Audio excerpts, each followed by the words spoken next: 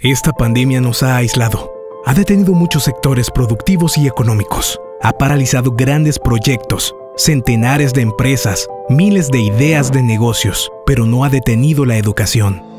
Nos hemos conectado para educar de una forma diferente. Los métodos de enseñanza seguirán cambiando y exigirán profesionales especializados. Estudia la maestría en docencia con enfoque en entornos virtuales de aprendizaje. Matrícula abierta a ciclo 02 2020. Universidad Gerardo Barrios.